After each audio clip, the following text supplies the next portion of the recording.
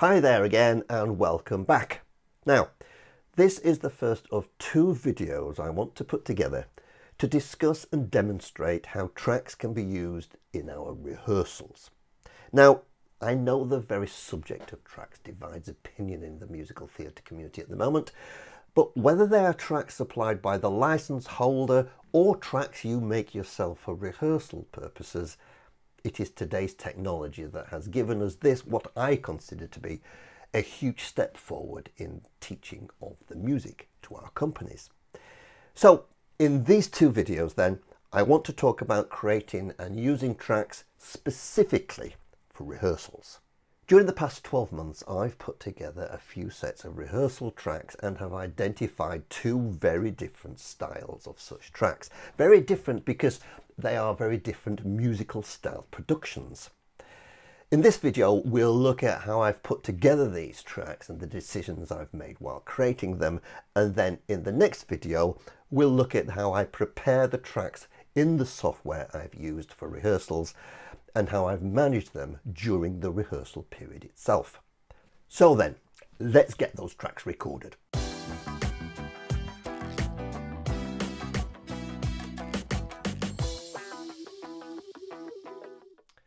For those of us that have been leading the music for some years, you, like I, may remember setting up a microphone, connecting it to your portable cassette player. Yeah, remember them?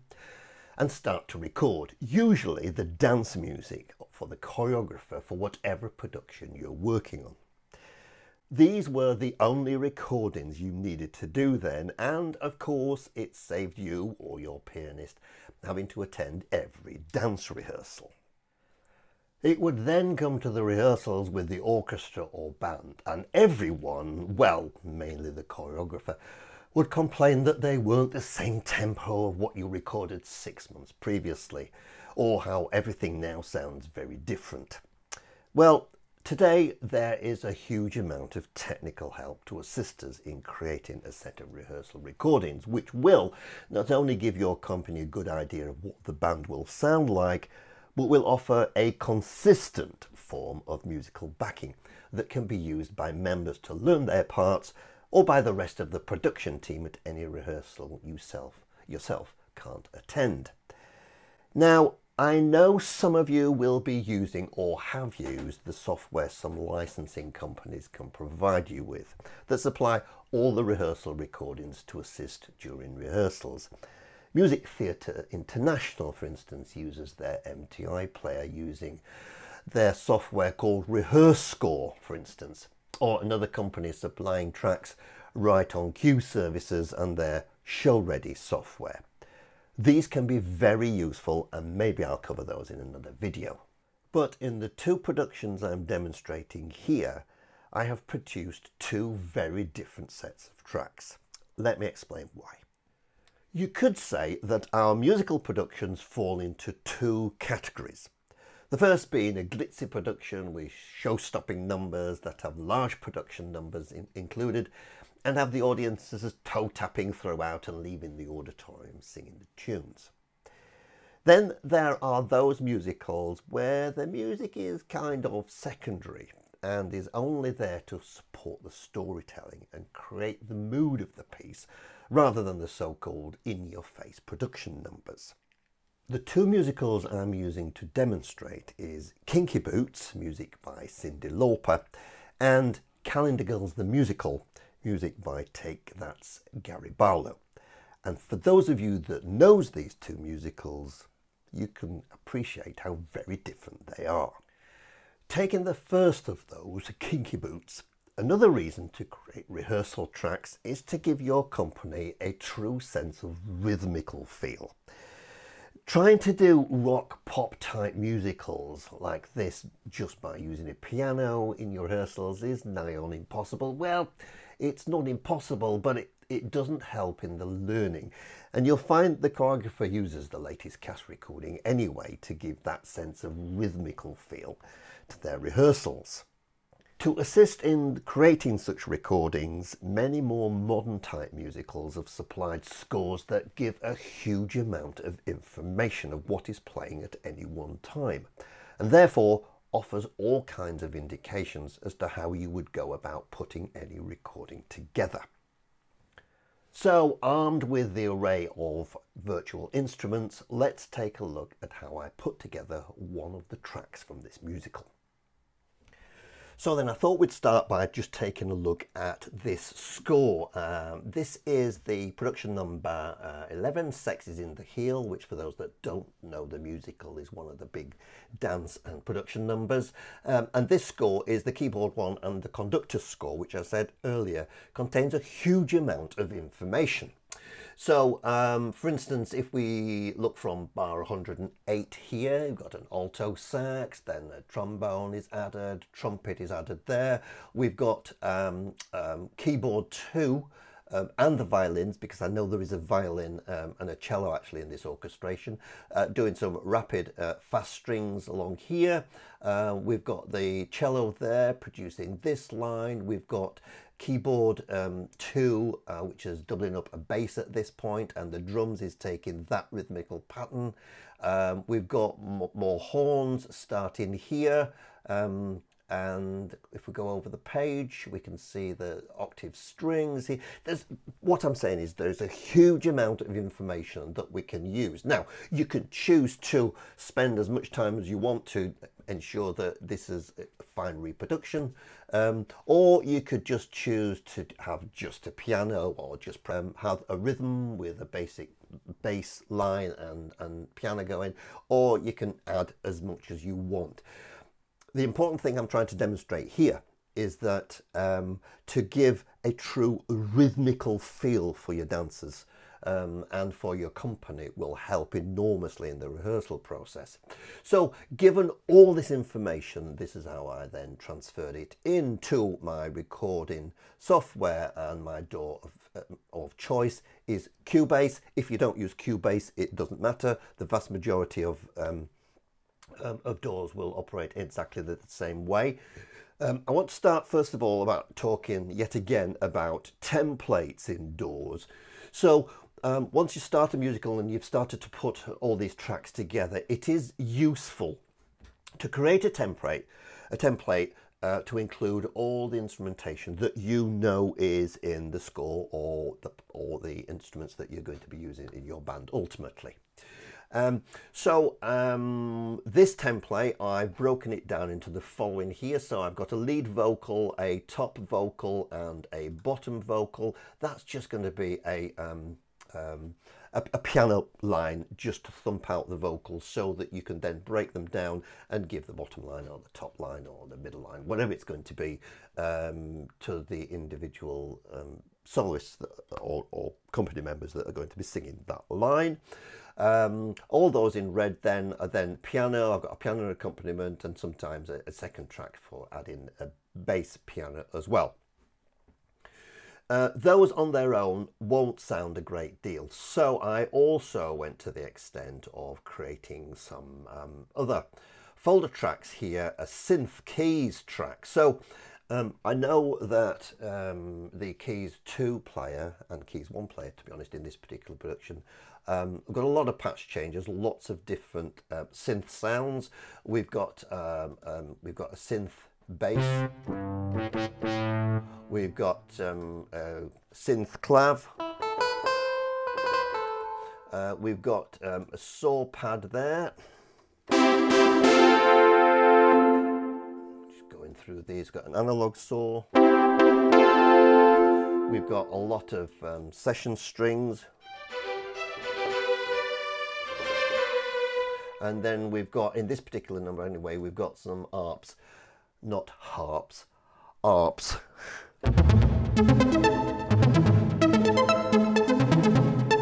fill out some of the um, some of the um, instrumentation. Um, I've then got uh, two drum kits, um, a general MIDI drum kit and an EZdrummer kit that I sometimes use. Um, what does that sound like? Well, yeah, it sounds like any other drum kit, doesn't it? Let's have a look what rhythm we've got here.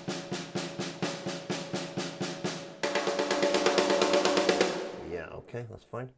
Um, we've also got um, a folder of some guitars. So we've got a bass guitar there. and later on I think we've got some um, some rhythmical guitars as well. Later on in the number, if we scroll down further, there's no uh, woodwind um, in this temp in this um, recording anyway. Uh, brass, I think we've got a couple of uh, um, brass lines, a bass uh, trombone, um, some trumpets, um, and it looks like I've got another keys folder here. What's in there? I've forgotten. Oh yes, another synth bass. Um, and then I think um, later on in the number, or perhaps before, oh, we've got an accordion at some point as well. So, given all those um, uh, um, uh, instruments, I can create some kind of template. Basically what I've done, I've opened up my orchestral template and added to it, and I've not taken out the stuff I'm not going to use. So I could, for instance, take out all those woodwinds and all the instruments that, uh, that are here with the track, but not being used, but I haven't done in this instance. Okay, so uh, those are the instrument um, libraries that I've used. Um, like I say, the vocal tracks, now it's a good idea, I always think, right at the onset of rehearsals, if you've got a lot of company singing, um, to decide whether or not you're going, your company is able to sing all the harmonies that's written in the um, production or whether or not you're going to cut your cloth accordingly um, and well simplify some of the parts singing. Um, sometimes that gets a better performance and a better result. Um, I'm a great believer in not flogging a dead horse week after week after week if you know at the back of your mind that they're not going to get these harmonies anyway. So simplify them. So um, in this particular um, instance, I decided that certainly for this number anyway, it was going to be a lead vocal line, um, then a top backing vocal and a bottom backing vocal. Um, when it comes to in musical numbers, any vamps, something that goes round and round when you're waiting for dialogue.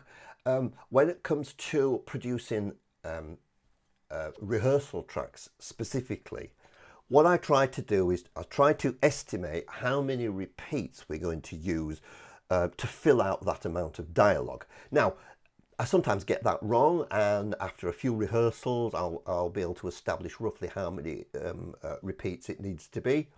Um, you will find that, and I think I've said this before in, in future, in, sorry, in, in previous videos, that uh, once you get into rehearsal and the actors get to know the amount of time that they've got to do this dialogue and it's X number of uh, repeats, that it's a learning curve for both parties and you'll soon find out that they, they just fit it anyway. Um, so don't worry too much about, about vamps in this instance.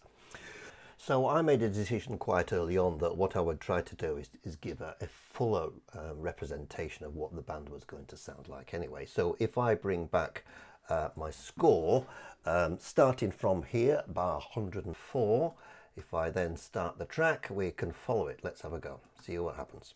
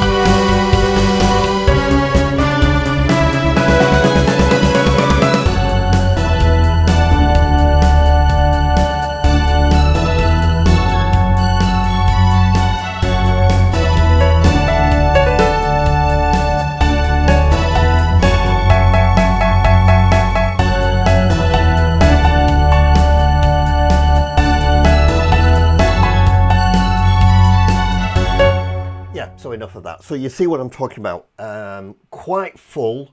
Um, I did find that, um, certainly in my experience, that young, some younger members of companies um, do find that given uh, as full a recording as possible gives an added confidence to them.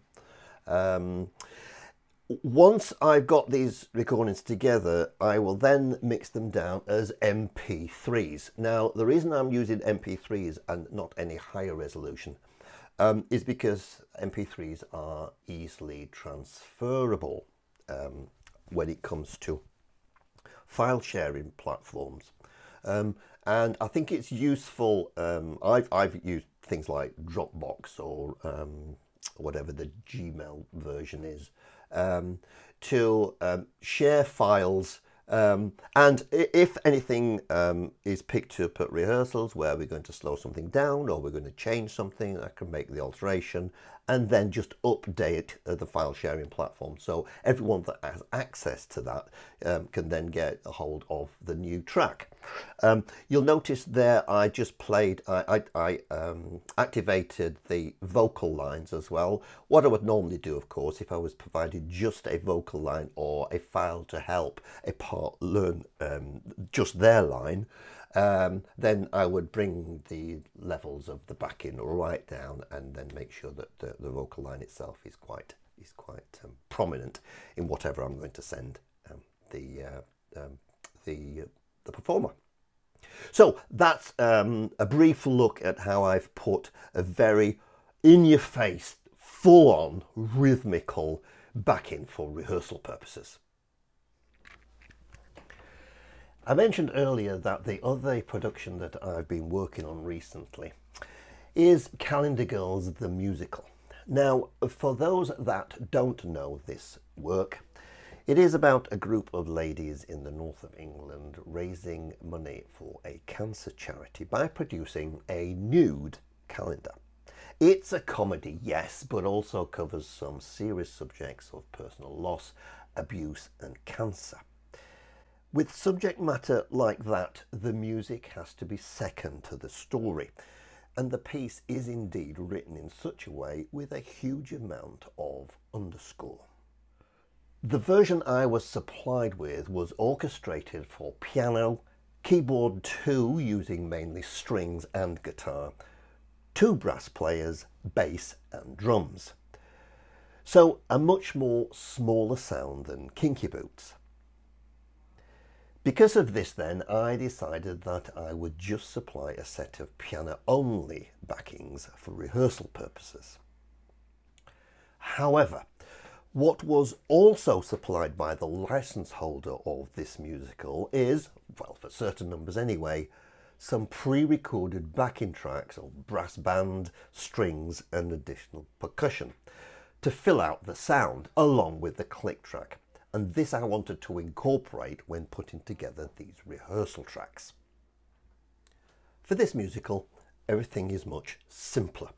You can see by the score there's very little information when it comes to what's playing at any one time, basically because there's well, less than a quarter of the number of players playing. Um, so, uh, given the fact that it's a story um, covering some sensitive um, storylines. Um, and like I said before, there's a lot of piano underscoring. Um, I was I decided quite early on that for rehearsal purposes, this time certainly when I wasn't going to be at rehearsals, um, I was just going to supply um, piano only recordings. Um, and this is the opening number and perhaps one of the better known numbers um, from the uh, from the musical itself, Yorkshire. Uh, you can see that it starts out with a cornet playing um, a, a, motif that we hear throughout the musical. Um, then the character John sings this line here unaccompanied um, before um, before the band comes in again and we've got this motive there again over some dialogue before he starts to sing on the following page. You will also note, and I'll talk about this in a while, that throughout this particular score, the numbers that um, have an additional uh, backing that's been supplied by the licensing company um, was, was always noted in the score as to when the click starts. More about that later. So um, given the simplicity of this, like I say, I decided I would start with just um, piano only recordings. Again, I've used a template like previously. So um, this template included at the top here all the audio files that were, that were sent by the by the company itself. So um, we had um, a click. The click um, sounds horrendous actually, but the click uh, was this.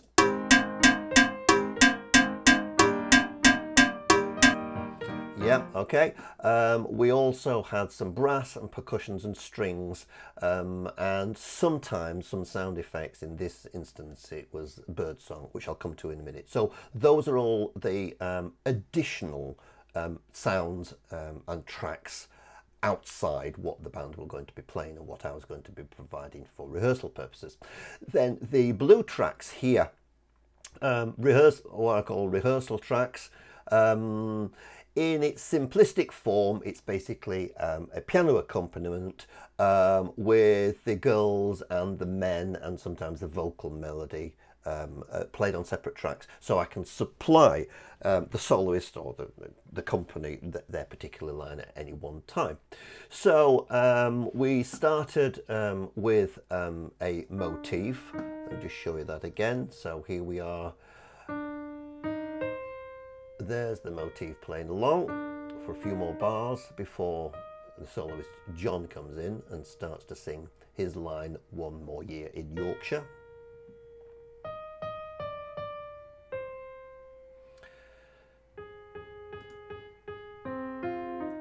Before everything then comes in a little bit a little bit further on. Here we go.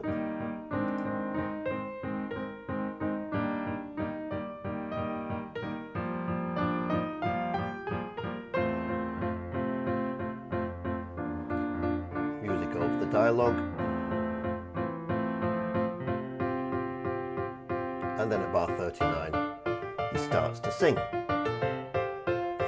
And I recorded the entire musical just using piano like that. Well, no, actually, I didn't. What I supplied the company was a set of piano tracks like that. Very straightforward. But then, of course, I had to incorporate what the licensing company had sent. Um, and this includes, like I say, a brass track for this particular number, uh, a percussion track and a strings track. And if I, if I just solo those um, three, for instance, what was supplied was this.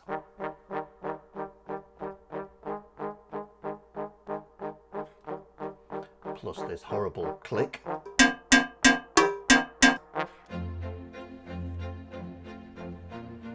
Not going to go into detail as to how I incorporated this in Cubase because every DAW will operate slightly differently when it comes to that. But when it comes to the show, obviously it's more than just the piano and we started adding um, um, other um, effects like this bird song for instance. So when it was all put together and we'll mute all the piano, I think we'll mute all the rehearsal tracks, we started with the bird song coming in. And then we added things like a flugel horn.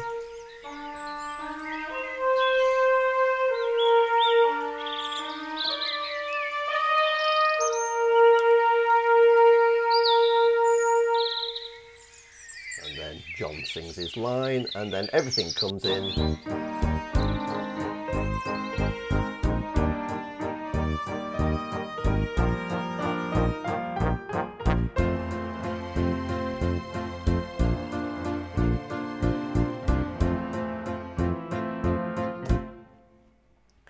So a much simpler way of providing tracks. So creating tracks for use in rehearsals isn't as problematic as it once was. And with the software and instruments available nowadays, if you choose to, you can give a reasonably accurate reproduction of, of what your music will sound like once your band is in attendance. But you might be a music director that prefers the full flexibility in having yourself or someone else as rehearsal pianist at each rehearsal. Of course, that's your choice. So now we have the tracks recorded, we then need to look at the best way to use these tracks in the rehearsal period itself. In the next video, we will look at the software I use to play these tracks at rehearsals, marking up your score to match the recordings and the best way I've found anyway for using these tracks in your rehearsals and using them to get the very best, of course, from your company. See you next time.